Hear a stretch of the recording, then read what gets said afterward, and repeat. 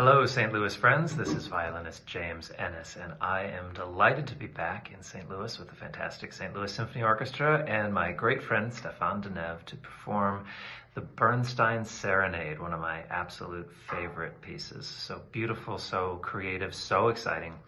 Please join us for two concerts this coming Saturday at 8 p.m. and Sunday at 3 p.m. at beautiful Powell Symphony Hall.